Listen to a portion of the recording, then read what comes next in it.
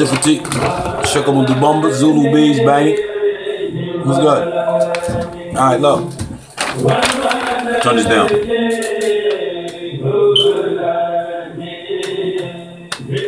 Because I'll be running with Africans, I get an opportunity to like be like a bridge and give y'all some African culture because we African American. We don't know nothing about Africa. So once I met the Sheikh, he put some stuff in me, and now I get to show some African culture. So this right here is Mame Fallou. I was partying with some Africans this weekend. This is Mame Fallou.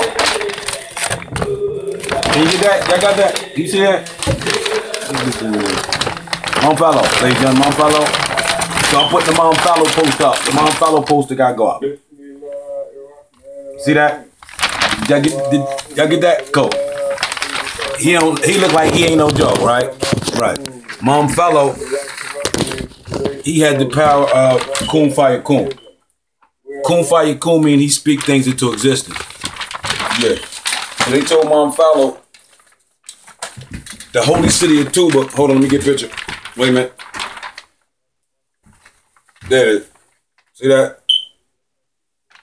Y'all see that? Yeah. See that dome right there? They told Mame Fallou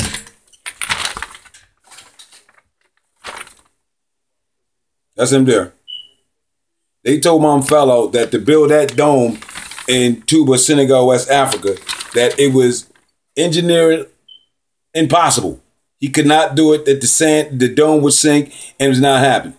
Mame Fallou told him because he was so cool with God, God gave him the power to speak things into existence. Mame Fallou told them, look, go ahead and build the, the mosque. I'm going to hold it up with my hand to the day of judgment. They finished that joint in 1960. The mosque is still up there. He said I was going to hold it up. They said it was impossible that it would sink. And Mame Fallou told her, I'm going to hold that up with my hand to the day of judgment. And it's still up. The dome is still there. See, look, look. Let me get picture.